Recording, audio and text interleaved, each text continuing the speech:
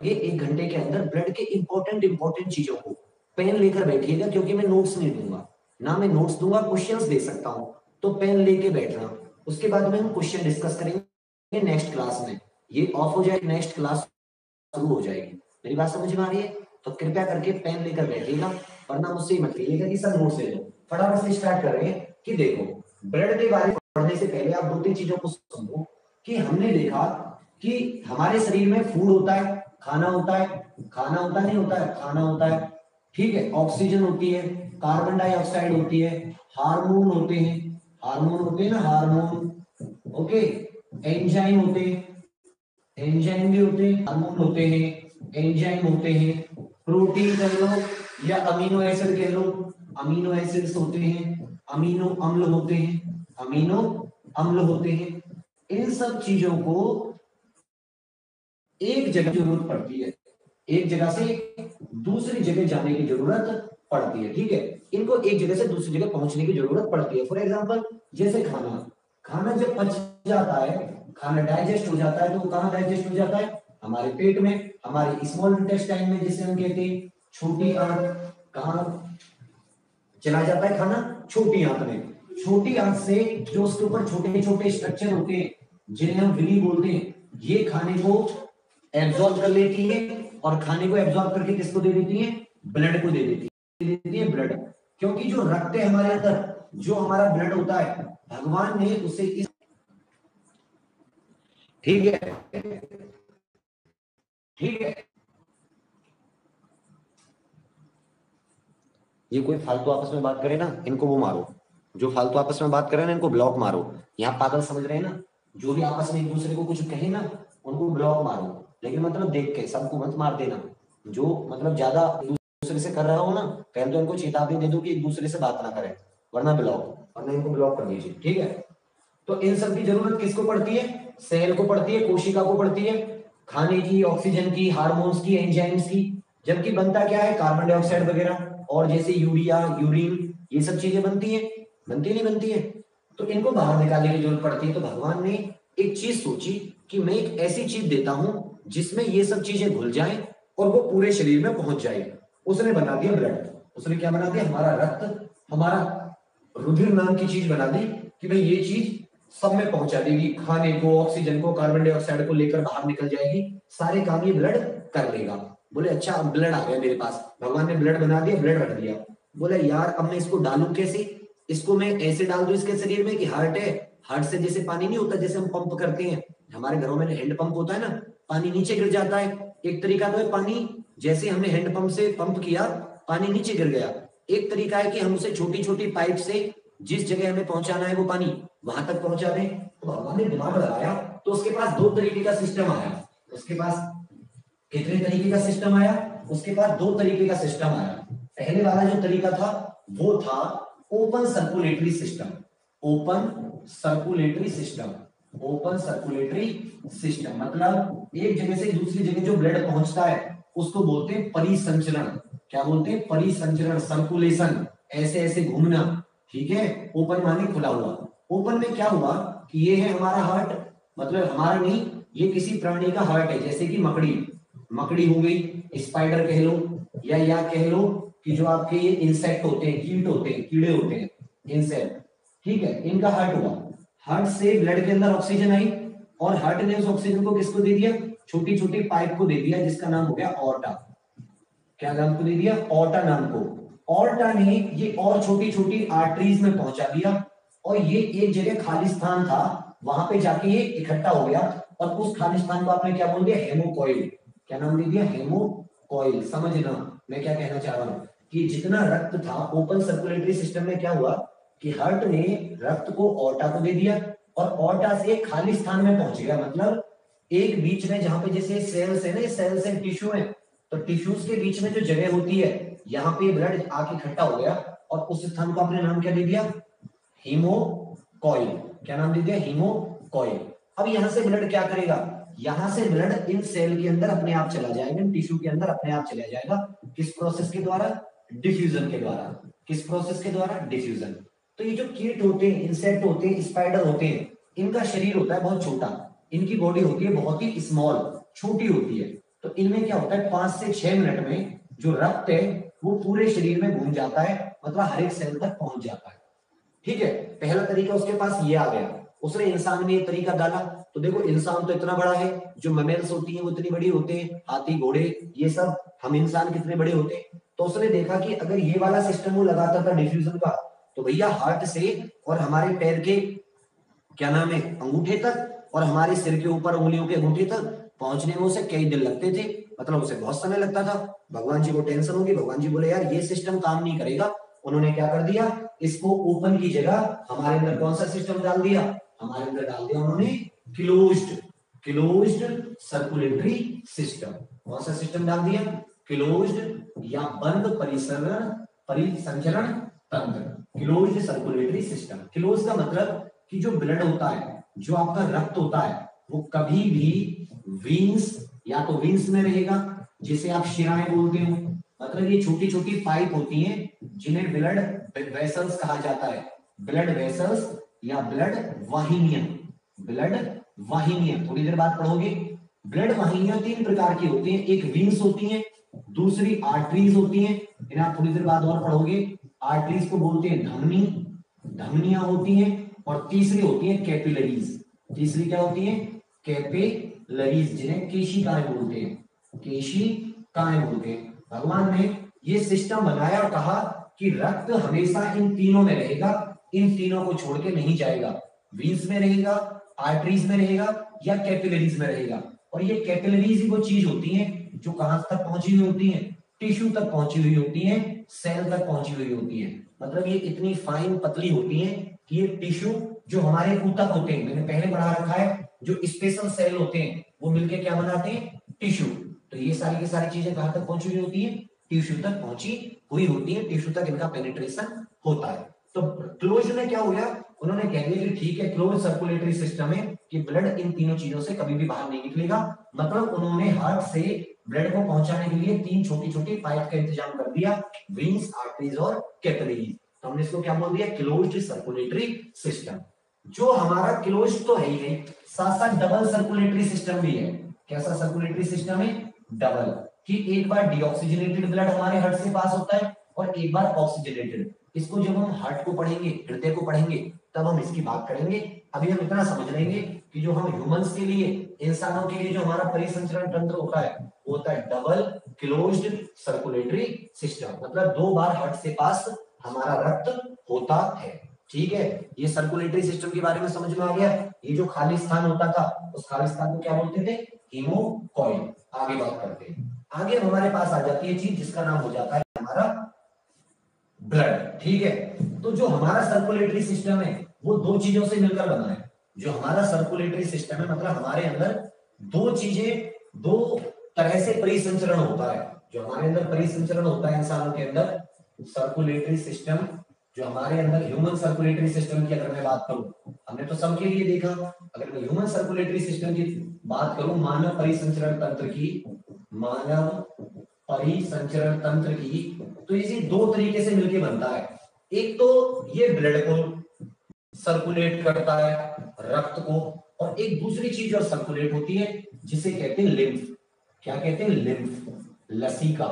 क्या कहते हैं? लिम्फ या लसीका। ठीक है, इसके बारे में हम बाद में बात करेंगे।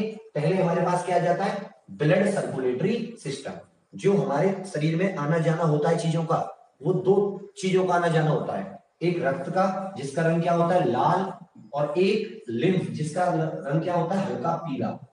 इसका रंग क्या होता है? हल्का पीला, ठीक है? लिम्फ, लसीका बोलते हैं जिसे हिंदी में। तो अभी हम किसकी बात करेंगे? ह्यूमन ब्लड सर्कुलेटरी सिस्टम की, ठीक है? तो विलियम हार्वे नाम के व्यक्ति ने विलियम हार्वे विलियम हार्वे नाम के व्यक्ति ने डब्ल्यू हार्वे नाम के व्यक्ति ने 1628 में ह्यूमन ब्लड सर्कुलेटरी सिस्टम की खोज की थी। तो उन्होंने बताया कि जो हमारा ब्लड सर्कुलेटरी सिस्टम है ये तीन चीज़ों से मिलकर बना है। एक तो इसके अंदर क्या जाता है? ब्लड भाई जिसको पहुंचाना है, रक्त, पूरे शरीर में पहुंचाना है तो कोई पंप करने के लिए चाहिए। तो उन्होंने क्या दे दिया? हार्ट दे दिया, हमारा हृदय दे दिया, नहीं दे दिया। और तीसरी चीज़ उन्होंने कहा कि भाई हृदय से रक्त जो जाएगा किन्हीं पाइप के थ्रू जाएगा तो उन्होंने तीसरी चीज़ क्या दे दी? ब्लड वेसल्स क्या दे दी भैया? ब्लड वेसल्स या रक्त वाहिनियाँ। रक्त वाहिनियाँ मेरी बात आप समझ रहे हैं ना? रक्त वाहिनियाँ विलियम हार्वे ने खोजा, तीन कंपोनेंट होते हैं। कितने ब्लड सर्कुलेटरी सिस्टम के कितने कंपोनेंट होते हैं? कितने अवयव होते हैं? तीन। एक तो रक्त, जो चीज़ बहेगी, जो चीज़ एक जगह से दूसरी जगह जाएगी। दूसरी हार्ट और तीसरी क्या होते हैं? ब्लड वेसल्स जिन्हें अभी हमने पढ़ा था वीन्स आर्टरीज और कैपिलरीज अभी हम किस पे आ जाते हैं? ब्लड पे आ जाते हैं। किस पे आ जाते हैं ब्लड पे आ जाते हैं। ठीक है। ब्लड की बात करते हैं, इसके बारे में से क्वेश्चन आएगा तो थोड़ा सा सही से समझिएगा कि ब्लड एक्चुअल में हमारा रक्त होता क्या क्या है। ठीक है? ब्लड एक्चुअल में होता क्या क्या तो देखो, जो हमारा ब्लड है, हमारा रक्त है ब्लड या रक्त बोल दो, या इसे रुधिर बोल दो, रुधिर भी बोल देते हैं। तो पहली बात, ये एक फ्लूइड कनेक्टिव टिश्यू है। फ्लूइड कनेक्टिव टिश्यू तरल संयोजी ऊतक, तरल संयोजी ऊतक मतलब चीज़ों को कनेक्ट करता है। चीज़ों को क्या करता है? कनेक्ट करता है, तरल है, क्योंकि ये फ्लूइड के रूप में विस्कस है, एक जगह से दूसरी जगह बहता है। तरल संयोजी ऊतक है। सेकंड चीज़, दो चीज़ों से मिलकर बना है। ब्लड के अंदर दो चीज़ें पाई जाती है। एक को बोला जाता है प्लाज्मा एक को क्या बोला जाता है? प्लाज्मा जो ब्लड का लगभग फिफ्टी से फिफ्टी फाइव परसेंट हिस्सा होता है। हमारा जो रक्त है वो दो चीज़ों से मिलकर बना जिसे हम फ्लूइड कनेक्टिव टिश्यू भी कह सकते हैं ब्लड को। क्योंकि देखो, जो कनेक्टिव टिश्यू होते हैं ना, जैसे कि न्यूरॉन्स हो गए, ये भी कनेक्टिव टिश्यू है। जो हमारे ये रक्त है, ये भी कनेक्टिव टिश्यू है। टिश्यू पढ़ाऊँगा तो थोड़ा सा और समझ में आएगा। अभी इसको थोड़ा सा याद कर लो कि ये एक कनेक्टिव टिश्यू है फ्लूड के रूप में होता है। दो चीज़ों से मिलकर बना है, एक प्लाज्मा और एक इसके अंदर पाए जाते हैं कुछ ब्लड सेल्स क्या पाई जाती है इसके अंदर? ब्लड सेल्स प्लाज्मा के अंदर ब्लड सेल्स पाई जाती है, जो कि तीन प्रकार के होते हैं। आरबीसी डब्ल्यूबीसी और मेरे भाई प्लेटलेट्स कितने प्रकार के होते हैं ब्लड सेल्स तीन प्रकार के। आरबीसी डब्ल्यूबीसी प्लेटलेट्स दो कंपोनेंट होते हैं ब्लड के प्लाज्मा जो कि 55 के लगभग प्रतिशत के होता है, और एक ब्लड सेल्स जो लगभग 45 परसेंट होता है, और इसमें भी ज़्यादा हिस्सा किसका होता है? आरबीसी का। तो हमारे ब्लड सेल्स में इन तीनों में सबसे ज़्यादा भी कौन सी पाई जाती है? आरबीसी पाई जाती है। यहाँ तक कोई दिक्कत? एक प्लाज्मा हो गया, एक ब्लड सेल्स हो गए आरबीसी डब्ल्यूबीसी प्लेटलेट्स 50 से 55 परसेंट तरल संयोजी ऊतक है। चलिए आगे। कितना पाया जाता है, कितना नहीं होता, वो सब हम देख लेते हैं एक बार। देखो, हमारी बॉडी का, हमारे शरीर में जितना वज़न होता है, इसका सेवन परसेंट सेवन परसेंट वज़न के बराबर सेवन परसेंट वज़न के बराबर। ठीक है? अगर औसत देखोगे कि औसत कितना लीटर होता है? तो चार से पाँच लीटर। औसत कितना होता है ब्लड हमारे अंदर? चार से पाँच लीटर। महिला में थोड़ा कम होता है, लगभग साढ़े चार लीटर। ठीक है, फोर पॉइंट फाइव लीटर। और पुरुषों में थोड़ा सा एवरेज ज़्यादा होता है 5.5 या 5.6 लीटर। ब्लड का जो पीएच होता है, वो होता है 7.4 ब्लड की जो डेंसिटी होती है, वो लगभग पानी के बराबर होती है 1060 किलोग्राम पर मीटर क्यूब। मेरी बात समझ रहे? हमारे शरीर के सात परसेंट के बराबर, जितना भी आपका वज़न है, ठीक है? चार से पाँच लीटर। महिलाओं में औसत निकाला होगी, पाँच पॉइंट पाँच और चार पॉइंट पाँच मिलकर कितने हो गए? लगभग दस लीटर हो गया, दस का औसत क्या आ जाएगा? पाँच लीटर। तो एवरेज इतना मिलता है, महिला के अंदर 4.5 लीटर, पुरुषों के अंदर 5.5 लीटर औसतन मिलता है। पीएच कितना होता है? 7.4 डेंसिटी कितनी होती है? 1060 केजी पर मीटर क्यूब। यहाँ तक कोई दिक्कत बताइए। यहाँ तक कोई दिक्कत? ठीक है, अब बात करते हैं। ये तो हो गई इसके बारे में छोटी मोटी इंफॉर्मेशन ब्लड के बारे में। कि भाई सात परसेंट वज़न के बराबर होता है, औसत कितना, महिलाओं में कितना होता है, पुरुषों में कितना होता है, पीएच कितना होता है डेंसिटी कितनी होती है। तीसरी चीज़ आती है कि ब्लड के कंपोनेंट के बारे में पढ़ लेते हैं कि भाई कौन सी चीज़ कितनी पाई जाती है। तो सबसे पहले आपको बताया कि जो प्लाज्मा होता है, इस प्लाज्मा के अंदर एक लिक्विड पार्ट होता है प्लाज्मा जो होता है, इस प्लाज्मा के अंदर आपकी जो ये सेल्स होते हैं, जो ये तीनों प्रकार के होते हैं डब्ल्यूबीसी या प्लेटलेट्स ये इसमें बिखरे पड़े रहते हैं। ये जो कणिकाएँ होती है ना रेड ब्लड कार्प्यूसेल्स इनको कणिकाएँ भी बोलते हैं। ये बिखरी हुई पड़ी रहती है। तो वहीं से हम देखें, सबसे पहले किसकी बात करेंगे? प्लाज्मा की। किसकी बात करेंगे? प्लाज्मा। कि प्लाज्मा होता क्या तो देखो फ्लूड है। प्लाज्मा क्या है? फ्लूड तो लगभग इसमें 92 परसेंट क्या पाया जाता है? अगर इस, इसका कंपोजिशन देखें इसका संगठन देखें कि किस किस से मिलके बना है तो नब्बे नाइन्टी टू परसेंट पाया जाता है इसमें वाटर मतलब 90 से 92 परसेंट वाटर या जल। लगभग सेवन परसेंट पाए जाते हैं इसमें प्रोटीन सेवन परसेंट क्या पाए जाते हैं इसमें? प्रोटीन प्रोटीन कैसे? जैसे एल्बुमिन एल्बुमिन एल्बुमिन नाम का प्रोटीन होता है जो हार्मोन्स Fe2 प्लस वगैरह को ये बाइंड करता है। ये हार्मोन्स वगैरह को बाइंड करके चलता है फैट को बाइंड करके चलता है तो अमीनो एसिड जो होते हैं, वो भी इसी से चिपक के सेल तक पहुँचते हैं। साथ साथ Fe2 पॉजिटिव वगैरह जो होते हैं, जिससे हीमोग्लोबिन बनता है, उसको भी बाइंड करने की बाइंड करके कौन चलता है? एल्बुमिन नाम का प्रोटीन चलता है। साथ साथ जो ब्लड का ऑस्मोटिक प्रेशर होता है ब्लड के परासरण दाब जो होता है ब्लड का, परासरण दाब ऑस्मोटिक प्रेशर इसके लिए भी जिम्मेदार है। जब ब्लड मतलब जो प्लाज्मा के अंदर कैपिलरीज से सेल और सेल से कैपिलरीज तक जो आदान प्रदान होता है ऑस्मोटिक प्रेशर ऑस्मोसिस उसका कारण भी क्या है? एल्ब्यूमिन नाम का प्रोटीन फिर से सुन लीजिए hormones fat amino acid acids वगैरह को Fe2 पॉजिटिव आयरन वगैरह को अपने साथ बाँध कर चलता है।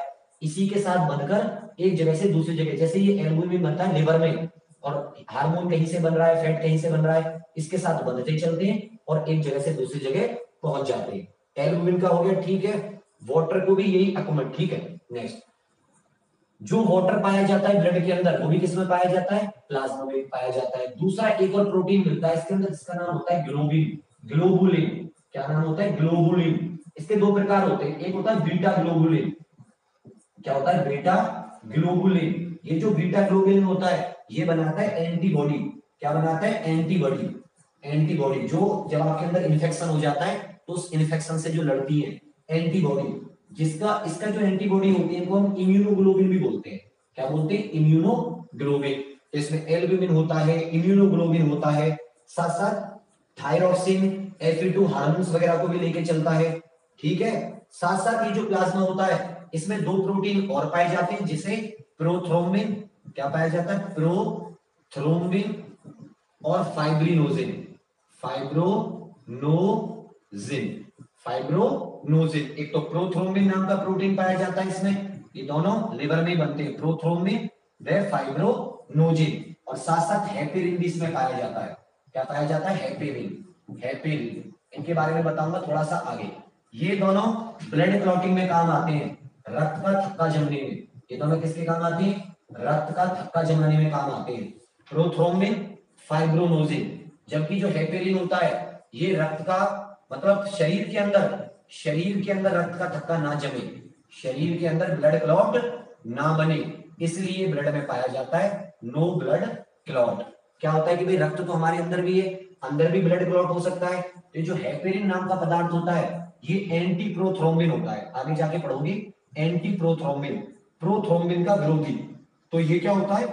रक्त का थक्का अंदर जमने से रोक देता है। फिर से सुन लो प्लाज्मा में ज़्यादातर पानी होता है, प्रोटीन होते हैं। प्रोटीनों में मुख्य एल्बुमिन ग्लोबुलिन प्रोथ्रोम्बिन फाइब्रोनोजिन और हेपेरिन और ये hormones fat amino acids carbon dioxide और तुम्हारा जो पानी होता है, इन सबको लेकर प्लाज्मा चलता है। प्लाज्मा में भी कार्बन डाइऑक्साइड घुली रहती है, ये मैं आपको बता चुका हूँ, जब मैंने एक्सक्रीशन सिस्टम पढ़ाया था। चलिए, ये तो होगी प्लाज्मा की बात। सेकंड नंबर पे जो हमारा आ जाता है, वो आ जाती है ब्लड सेल्स सेकंड नंबर पे क्या आ जाती है हमारे?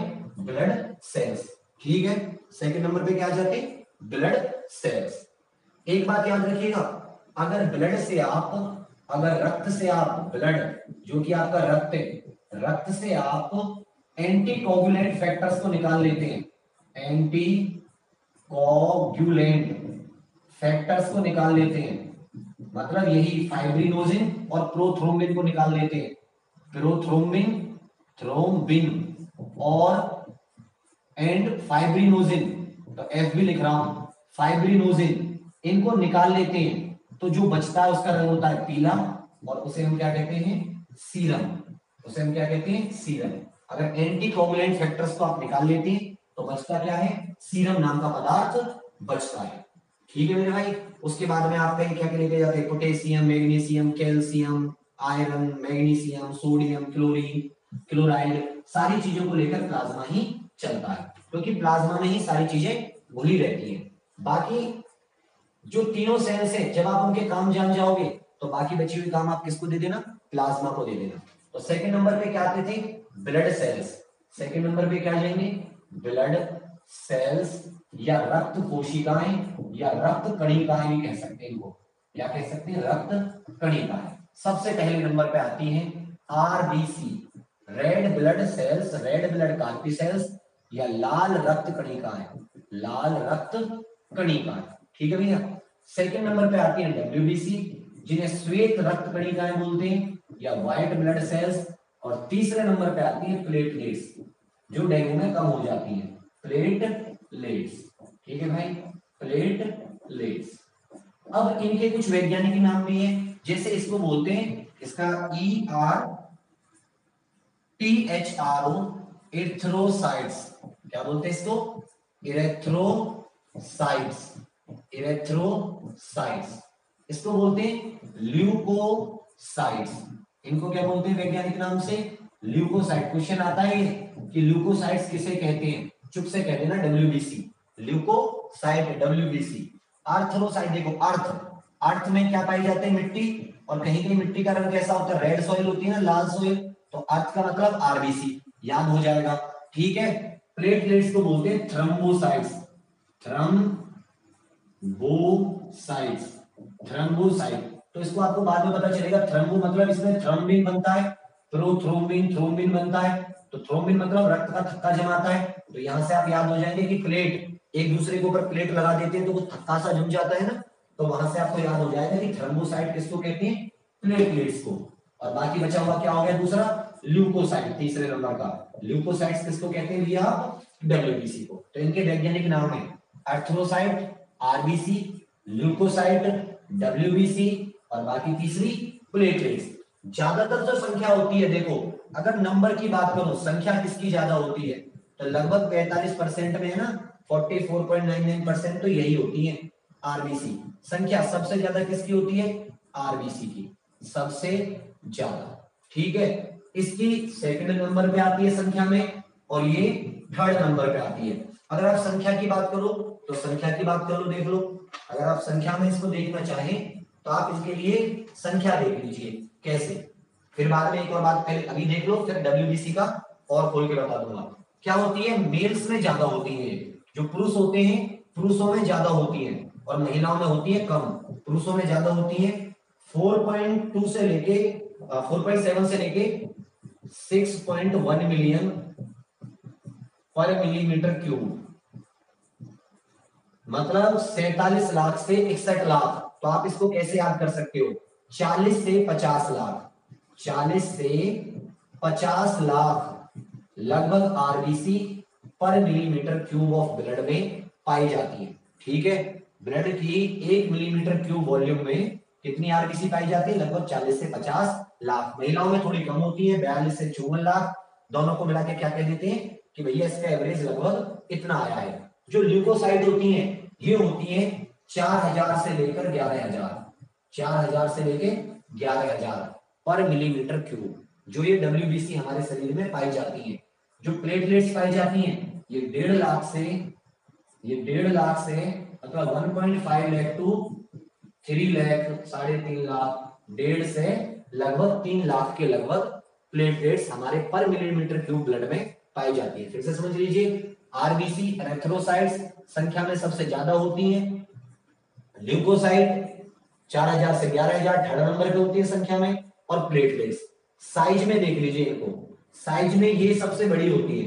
प्लेटलेट्स का जो साइज़ होता है, इसके सेल का साइज़ सबसे बड़ा होता है। अगर साइज़ में बात करें तो साइज़ के मुकाबले ये सबसे बड़ा होता है, ये सेकंड नंबर पे होता है और ये थर्ड नंबर पे होती है। ये सेकंड सबसे बड़ी सेकंड और थर्ड नंबर पे। अगर किसकी बात करें? साइज़ की। आकार की बात करें। आकार की बात करें तो सबसे बड़ी कौन सी होती है? प्लेटलेट्स। प्लेट तो वैसे बड़ी होती है। फिर ल्यूकोसाइट और फिर आपकी अर्थरोसाइट ये इंफॉर्मेशन समझ में आ गई साइज़ में और नंबर में। अब आगे बढ़ते हैं। आगे देखते हैं कहाँ बनती है, कैसे कैसे बनती है और क्या क्या होता है इन तीनों के बारे में। प्लेटलेट्स ल्यूकोसाइट और लिम्फोसाइट इनके अर्थरोसाइट या आरबीसी के बारे में। तो देखो, इसका जो न्यूक्लियस होता है, देखो आरबीसी में नो न्यूक्लियस कोई केंद्रक नहीं होता। आरबीसी में कोई केंद्रक नहीं होता। कोई केंद्रक नहीं होता। हम ह्यूमंस में नहीं होता।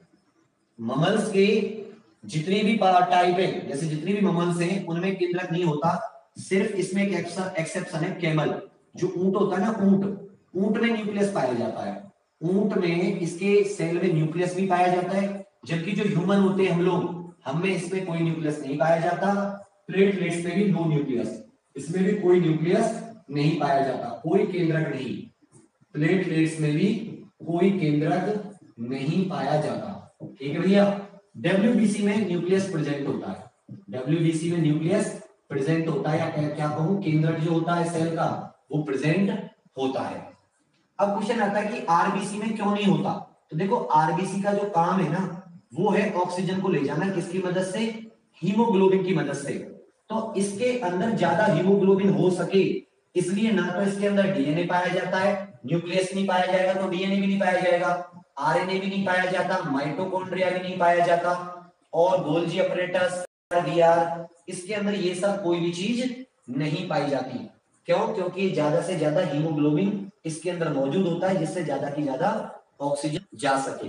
लाल रंग की होती है, रेड कलर की इसी रेड कलर की वजह से हीमोग्लोबिन की वजह से ब्लड का रंग भी कैसा होता है? रेड होता है, ठीक है? इन ये कलरलेस होती है। इनका कोई भी रंग नहीं होता नो रंग, कोई रंग नहीं। इसको लिख सकता हूँ, बेरंग, ठीक है? ये भी कलरलेस या बेरंग? कलरलेस या बेरंग? तो समझ में आ रहा है मैं क्या बता रहा हूँ? भाई आरबीसी में न्यूक्लियस नहीं होता प्लेटलेट्स में भी न्यूक्लियस नहीं होता, सिर्फ़ डब्ल्यूबीसी में न्यूक्लियस होता है। क्योंकि इसको अपनी इंफॉर्मेशन सेव करने की ज़रूरत पड़ती है कि मैंने किस कीटाणु को किस तरीके से मारा वो कीटाणु मुझ पर जब दोबारा असर करेगा तो मेरे डब्ल्यूबीसी उस इंफॉर्मेशन का इस्तेमाल करके उसको पहले ही, अपना काम करने से पहले ही मारने की कोशिश करेंगी इम्यूनिटी डेवलप करेंगी। न्यूक्लियस होता है, इन दोनों में न्यूक्लियस नहीं होता। कलरलेस होती है, बाकी दोनों डब्ल्यूबीसी और प्लेटलेट्स और ये कैसी होती है? रेड कलर की। क्यों? क्योंकि इसके अंदर क्या पाया जाता है? हीमोग्लोबिन पाया जाता है। ठीक है? यहाँ तो कोई दिक्कत आरबीसी क्या होती है, कहाँ से होती है, इतना पता चल गया। चलिए, अगर इनकी शेप कैसी होती है, इनका जो सेल सेल होता है, इनकी जो कोशिका होती है, उसका, उसकी आकृति कैसी होती है शेप कैसी होती है शेप आकृति आकृति। तो ये होती है बाई कॉन्केव दोनों तरफ़ से कॉन्केव बाई कॉन्केव शेप होती है इसकी। बाई कॉन्केव दोनों तरफ़ से, इस तरह से कुछ बाई कॉन्केव ठीक है? इसकी कैसी शेप होती है? बाई कॉन्केव सी शेप होती है। जबकि इसकी इरेगुलर राउंड भी होती है और इरेगुलर भी होती है। इसका काम ही ऐसा है कि इसकी जो शेप होती है ना, उसका कोई निश्चित आकार नहीं होता। मान लो इस तरह का बैक्टीरिया है तो डब्ल्यूबीसी इसको पचाने के लिए शेप ऐसी बदल देगी। बैक्टीरिया इस तरीके का है तो अपनी शेप कैसी कर लेगी? इस तरीके की शेप कर लेगी। तो ये जो डब्ल्यूबीसी होती है, वो अपनी शेप चेंज कर सकती है। क्यों? क्योंकि इनका कार्य क्या होता है? बैक्टीरिया वगैरह को मारना। तो ये क्वेश्चन भी आता है कि इनमें से कौन अपना शेप चेंज कर सकता है? राउंड होती है और इसकी ओवल शेप होती है राउंड या ओवल ठीक है? प्लेटलेट्स की। बनती कहाँ पे फॉर्मेशन मतलब बनती कहाँ पे बहुत क्वेश्चन आता है। आरबीसी या अर्थ्रोसाइट कहाँ बनती है? तो देखो, जब बच्चा माँ के गर्भ में होता है फीटस होता है, गर्भ में बच्चा होता है, ठीक है? गर्भ में। तो आरबीसी बनती है लिवर वे स्प्लीन नाम के ऑर्गन में। लिवर वे स्प्लीन में, ठीक है? जब बच्चा पैदा हो जाता है, उसके बाद में बनने शुरू हो जाती है बोन मेरो में। बोन मेरो जब तक मेचर नहीं होता है, अस्थि मज्जा में। कहा बननी शुरू हो जाती है? अस्थि मज्जा। ठीक है? डब्ल्यूबीसी ल्यूकोसाइड ये बोन मेरो में भी बनती है, अस्थि मज्जा में भी बनती है। थाइमस ग्लैंड होती थी यहाँ पे, वो भी ल्यूकोसाइड बनाती थी, मैंने लिखवाया था। थाइमस ग्लैंड में भी बनती है। इसके अलावा लिम्फ लसी का पढ़ाऊँगा, जहाँ लिम्फ वेसल इकट्ठे हो जाते हैं, हमारी बगल में, हमारी गर्दन में तो लिम्फ नोड्स जो होती हैं, वहाँ भी ये बनती हैं। बोन मेरो में भी बनती हैं थाइमस ग्लैंड में भी बनती हैं, लिम्फ नोड्स में भी बनती हैं स्प्लीन में भी बनती हैं। क्या बनती है? स्प्लीन में भी डब्ल्यूबीसी बनती है। और प्लेटलेट्स जो